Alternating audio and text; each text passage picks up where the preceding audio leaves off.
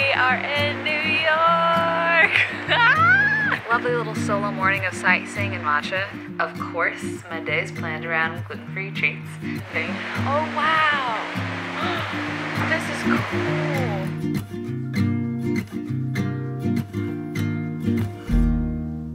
Hi friends. Guess where we are? I guess the title gave it away, huh? We are in New York! I got here last night. I have not explored at all. I have a solo morning today. The reason I'm here is Jordy actually has a show here tonight. So him and the crew and all the friends are getting in later today. So I'm excited to have a morning by myself to explore. I've never been here as an adult. I've been here once at like 14 years old and this was high up on my bucket list of places to see. I figure what we could do is I can give you a little room tour of where I'm staying and then I've planned out a whole solo morning. I think I want to check out Chelsea this morning. It seems the most McKellish. I found a spot that's 100% gluten-free and has bagels. Chelsea Market, I'm sure I'll want to go back to that multiple times, and the High Line. So I'm really excited for today, and I'm really excited to have you along. Just so you have a better 360 degree view, here's the rooftop. I hadn't seen it until literally five minutes ago, but I love all the landscaping. I think if I lived in a city like this, I would just seek out greenery and plants as much as possible because it just lowers cortisol. and uh, from just my, you know, 15 hours here, I can already tell it's a high cortisol city. So this is very peaceful and calming and serene. Look down that way. I'm in the uh, financial district, so kind of in the heart of it all. I was waiting to see if I got good light in here to do a room tour, but I'm realizing tall buildings equals probably sliver of the day you ever get direct light. I actually can't even see the sky, so that would make sense. So we're gonna work with what we got, but here's a little room tour. I'm staying in a Sonder I love Sonders. This is like my fifth time staying in one, and I'll primarily be staying in these when I move out and do my nomad life thing. But this actually ended up being cheaper than a lot of the hotel options that I could find, and has a kitchenette and stuff, which is awesome for being able to cook or eat or, you know, celiac things. But I'm pretty sure I'll be eating out a lot. But here's the room. You walk in, and the bathroom is to your right. It's a very nice little bathroom, actually tons of storage. This ledge works as something you can set your stuff on. Nice shower with my stuff already on it, because like I said, I got here last night. Very thankful for the full length mirror to check your outfits. And there is a wardrobe that I've already unpacked in. A huge closet, which I know is a luxury, so I have my suitcase in the corner in there, but there's no rod. I would add a rod if I were them. I think a lot of people obviously come here for work, so they have a really great work setup with two rolly chairs, a TV, but I love this banquette um, because you can eat, work, lounge, anything over here with a really cool light as well.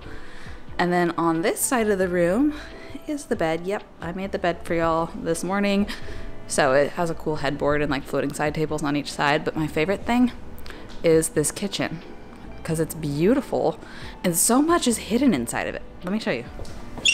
Like first over here, this is the fridge. And then it took me so long to notice this. Obviously, you know, microwave, stove top, but I was looking for trash bags last night. So I opened this up. That's a dishwasher. Isn't that crazy?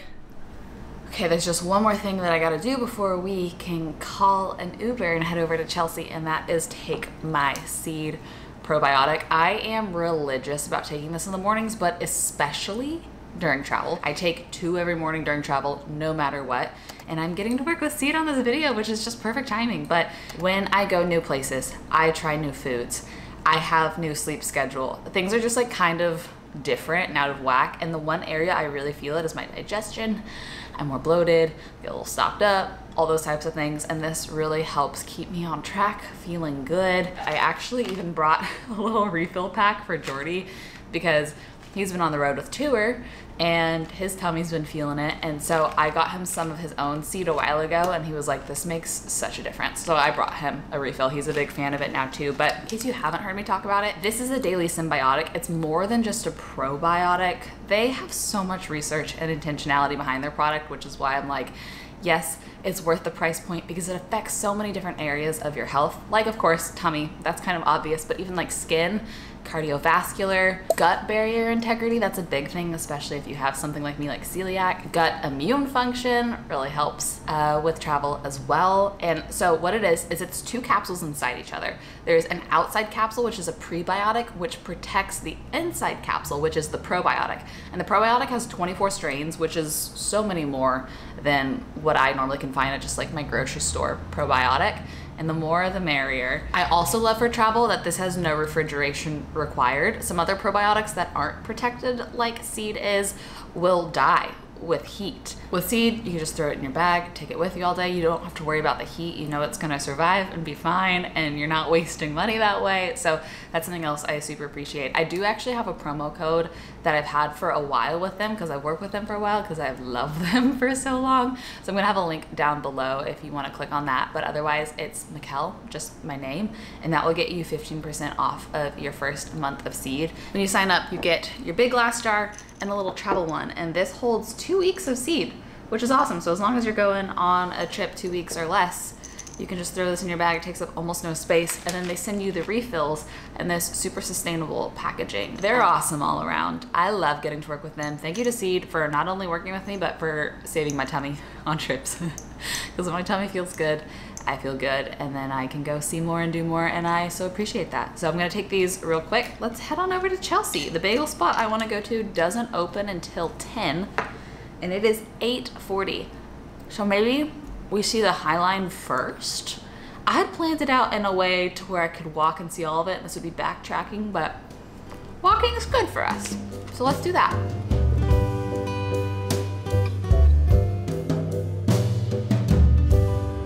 Oh, wow. This is cool. Apparently he said this goes for like 20 blocks and it's just this like green walking trail above the city. Used to be a train track, I think. Looks out. There's water. I'm so excited.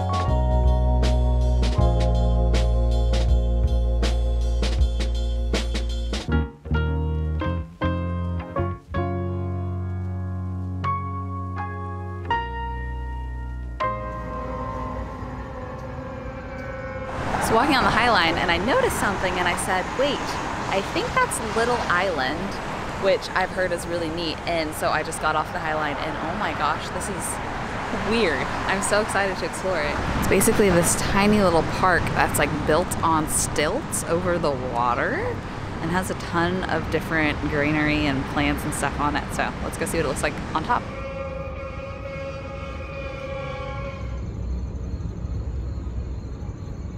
I want to show y'all what some views look like. There's a skyline this way this way, water views. Wow. It's pretty stunning. About to exit out this way, which is so cool to walk underneath it. And it's perfect because this spits out onto 14th Street. And the bagel spot I want to go to is on 14th Street and opens like in 10 minutes and it's a 15 minute walk. So I figured we could just exit that way, but I wanted to show y'all. It's pretty, it's pretty wild. Oh, I found it. Modern bread and bagel. Every single thing in here is gluten free. Oh, and there's pastries too cookies, muffins. Can y'all see through? Donuts. Uh oh, it's gonna be hard to choose, but I have to get a bagel. Okay, rookie mistake. I got an everything bagel, but I thought it just came with cream cheese, and it doesn't. And I'm like too embarrassed to go back and ask them to cut it for me. So I'm gonna try a bite of the plain bagel, and then maybe I'll go order another one. But I also got a donut. That was pretty good. It would be way better with cream cheese, but tradition, every solo trip, I find a gluten-free donut. I have a couple other gluten-free donut spots I'm gonna make within the next week. And by the way, I think there's going to be two separate vlogs, but let's try this one. I'm a sucker for just the plain, plain glazed donut. That's really good. Look at the, the fluff, the dough structure. That's really, really good. I'm glad to be here on a Monday morning because I've heard it gets like super stressful and busy in here, but it's very calm. There's a bookstore too.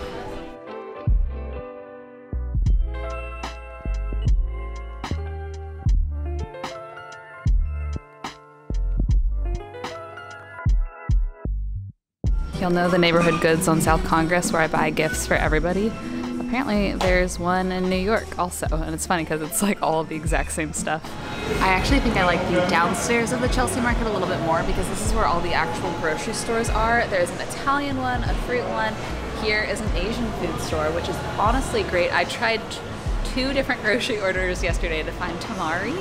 Both times they were canceled because we have several sushi plans this next week. So I'm gonna see if I can't find some tamari in this little grocery right here.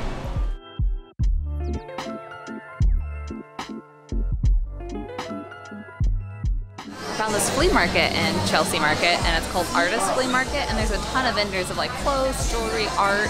It's actually very cool. Crowded, loud, but very cool.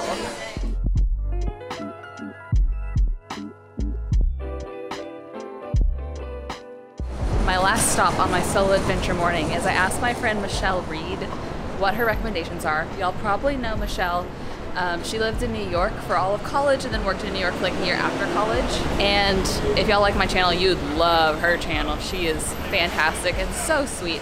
But she recommended a coffee shop called Maman, and it's a big chain, so there's a lot of locations around, and I'm pretty close to one of the locations, I'm currently 900 feet away.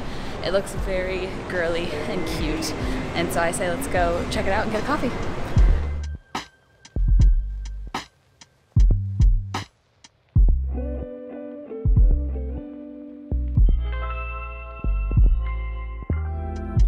I promised myself that if I wanted to live my dream of traveling to different places and exploring new cities, that I would also budget in a few hours of rest every day to make sure I keep my health in check.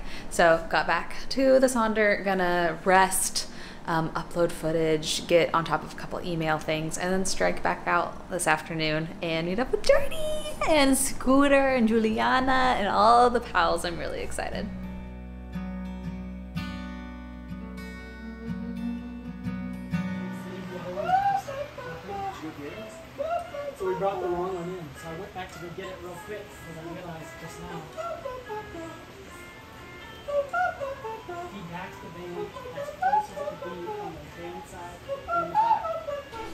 I'm at the venue and they're getting set up. They're about to do sound check, so I'm gonna go on an adventure because on this next corner I saw a spot that said churros, and then we stopped at the light so I could read the small print that said all churros vegan and gluten free.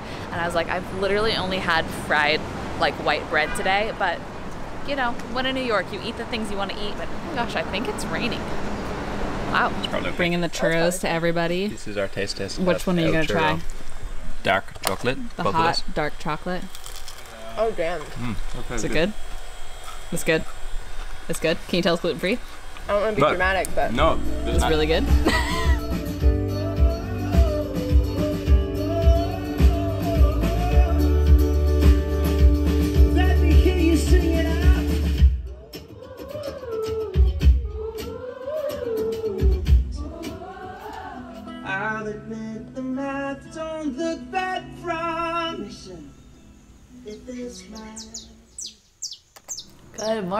is day two in New York. I didn't get much footage in the afternoon and evening except for those few iPhone clips, but I got to meet a lot of online friends, like more than I was expecting 12, 15, 20 in that range, and it made my heart really, really full. Um, and slept in this morning. It's actually already noon. Of course, my day is planned around gluten free treats. There is a, I don't remember if I've said this yet or not, but there is a bakery that I wanted to go to Paris for. It's called Noglu, and it's a French patisserie that's 100% gluten free. Somehow they even do gluten free croissants. I'm not sure how that's physically possible. I was planning a solo trip to Paris one of these days because that was the main reason I wanted to go. And I found out there's one in New York and it's right next to Central Park. So my plan is to meet up with Jordy and his brother and his brother's wife. We're gonna spend the day together. We're gonna go to that bakery, walk Central Park. We have early dinner reservations and then we have tickets to see Into the Woods tonight. So it's gonna be a very, I think, classic New York kind of day. Gonna be out from, you know, noon to the show. So I'm bringing a change of shoes and a jacket and hopefully I can go to a Broadway show in shorts. I don't know what's acceptable, but we will find out. I know this is ridiculous, but this is the number one thing I'm most excited about.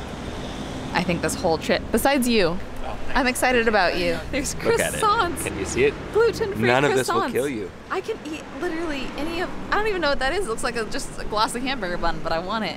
Brownie. Let's get like one of everything. okay, I went all out because I just want to try a bite of everything. We got a blueberry tart. I think this is called a Paris-Brest. Never heard of it. Chocolate eclair, cream puff, croissant, chocolate chip cookie, handsome boy.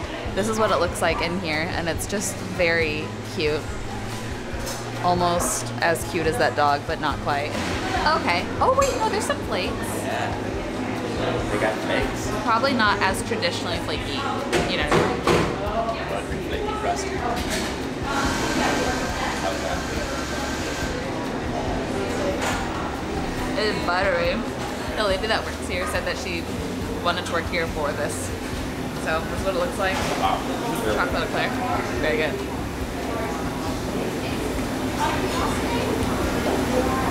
Oh, what I'm gonna do is try one bite of everything and then tell y'all what my favorite is. But I feel like it's gonna be really funny to bite into this, so I just want to try it on camera. It's, it's gonna be a mess. Oh, Puppy and creaminess. puffy and creamy. Okay, after ever trying one, two, three, four, five, six things, I think my favorite is actually the chocolate chip cookie. I recently learned that if you use chocolate chunks instead of chocolate chip, there's no wax coating, and so the chocolate stays like melty. And I think that that's what they did. I would say first this, second croissant, just because it's so different and I can never have it, and third maybe the chocolate eclair. In that order. Noglu is uh, basically across the street from the center of Central Park, so we're gonna explore. I've only seen it once um, in the winter, so I've never seen it in the summer, and so I hope we all enjoy a nice little lovely montage of all the scenic things we see. Does that sound nice? Let's do it.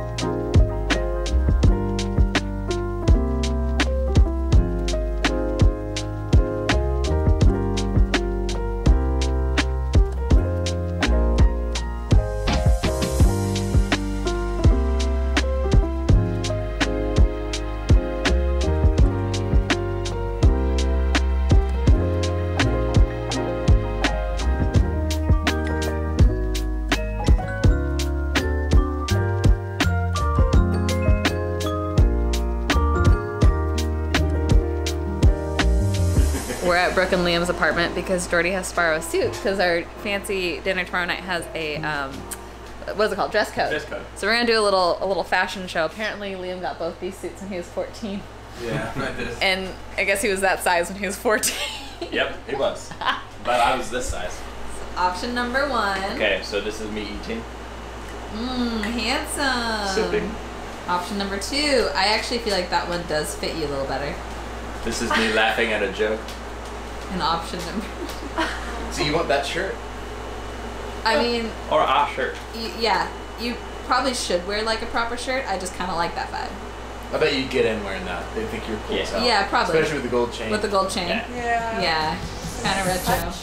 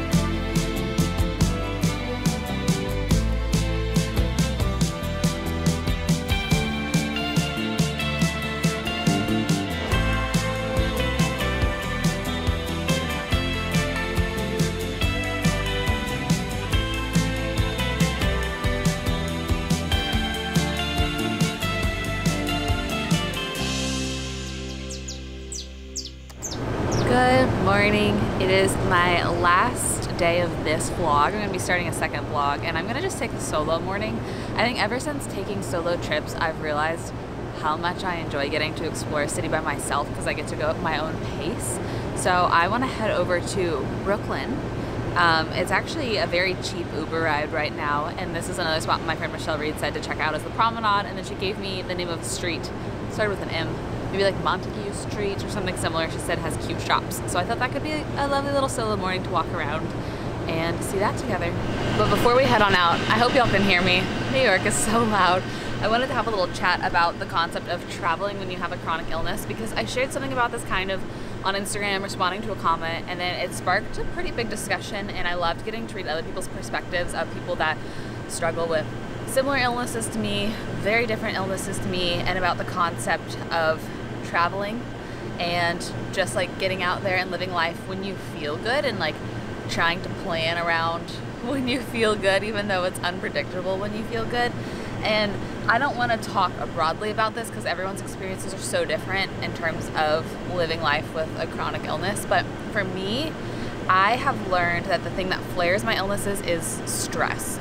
But it's more mental and emotional stress than it is physical stress.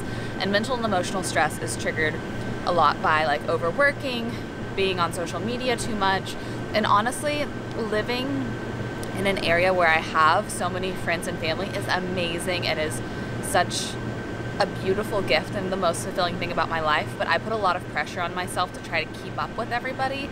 And so because of that, I accidentally overcommit and get social fatigue very easily and get stressed of like, oh, I haven't reached out to this person, I haven't seen this person in this long.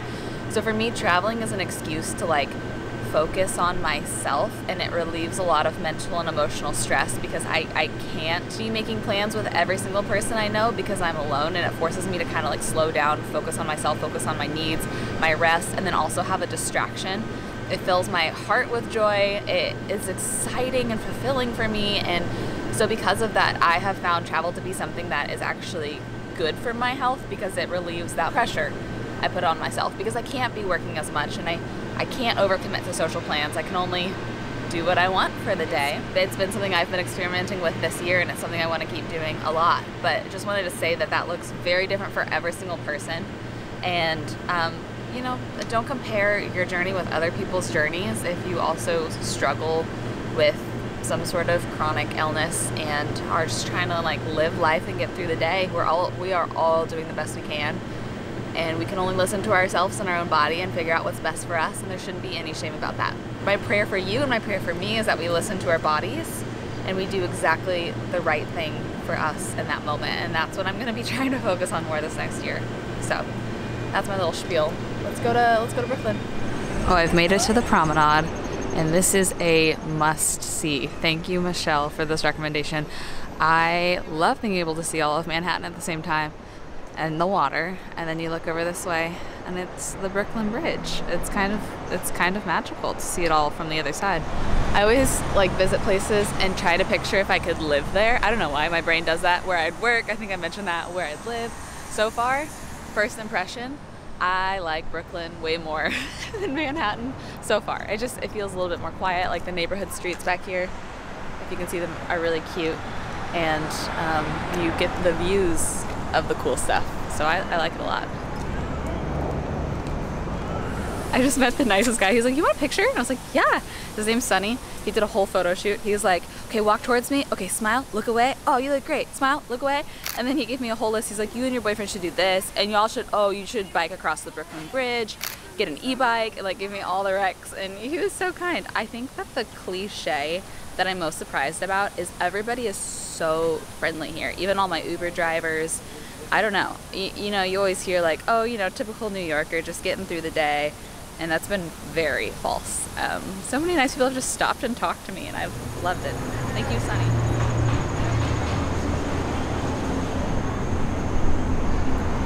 The GPS pronounces street as Montague. So I don't know if it's Montague or Montague, but there is a blue bottle 22 minutes of a walk away.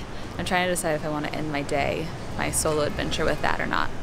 I was en route to Blue Bottle and then I found this spot I was walking by. It's called Blank Street Coffee and their matcha is so good. If you like sweet matcha, you're gonna hate it. But um, I despise sweet matcha with a passion.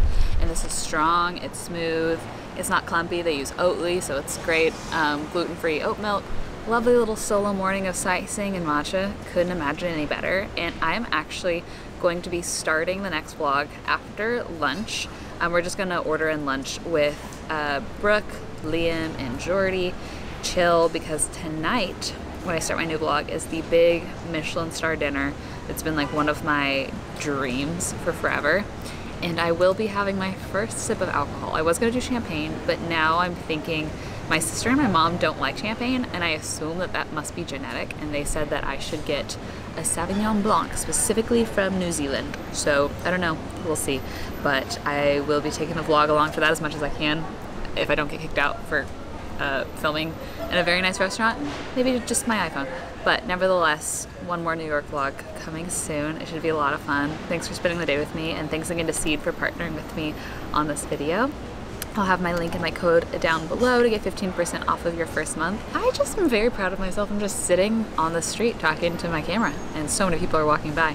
I think New York's good for me. It's helping me care less about silly, silly little things I shouldn't care about. So, cheers to New York. Uh, cheers to adventure, and I'll see y'all the next one very soon. Bye. So give me a sign. Give me a sign.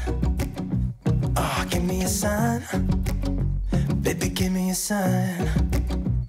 Just give me one more talking to you. And here we go again. Staying up all night to see if you've been texting me.